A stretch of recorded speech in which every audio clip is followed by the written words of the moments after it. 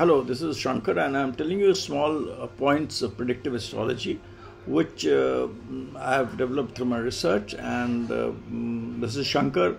Uh, you want to know about me? You go to my website shankerstudy.com. It is S H A N K E R Shanker. That's E shankerstudy.com, and you'll come to know a lot about me, my astrological work, my research, etc., which is uh, which uh, which I've been doing for the last 40 years or so. Now, I, here I want to tell you today certain observations which I've done about Venus. 90% it comes out to be correct. And this is there when Venus is purely in the 10th house. When Venus is in the 10th house, the partner tends to become fat.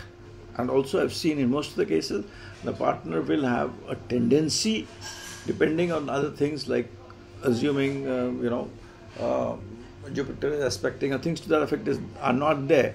And purely Venus is in 10th house, under all circumstances, the partner will be um, have a tendency to, you know, talk with the opposite sex, um, you know, be a little uh, flirtatious, and uh, to even to the extent of having extramarital relationships. Uh, in a way, tendency will be there when Venus is in 10th house. One is uh, Venus in 10th house, the partner will get fat second Venus in 10th house, there will be a tendency towards having fling, uh, you know, you'll be interested in the opposite sex, you will like to, to talk to the opposite sex, to uh, having an extramarital relationship depending upon various other uh, issues with Venus. But these things, tendency of these things would happen when Venus is in the 10th house. Similarly, when Venus is in the 7th house, yes, after marriage, uh, you may become more prosperous but we have to be very careful when Venus is in the seventh house. After marriage, you will become prosperous. I also tell all those people who have Venus in the seventh house, please do not do a love marriage. That is not good.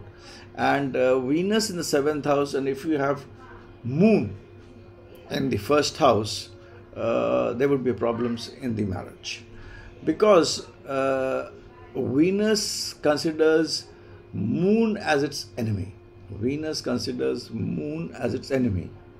And it is not vice versa. If it's a very important rule.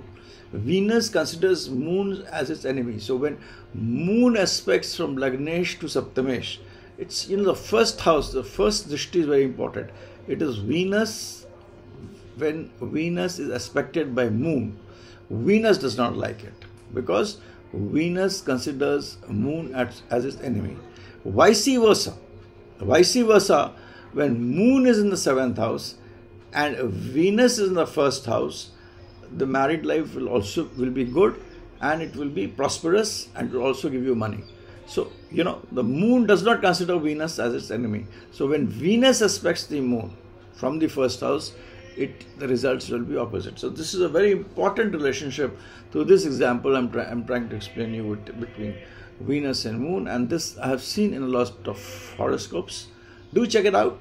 These are my you know my my experience my study my study on nadi and various other methods of astrology which i combine and see. And these these are right. They have logics uh, which of course i can't explain in the video but do try them out. Thanks and bye for now. This is shanker signing out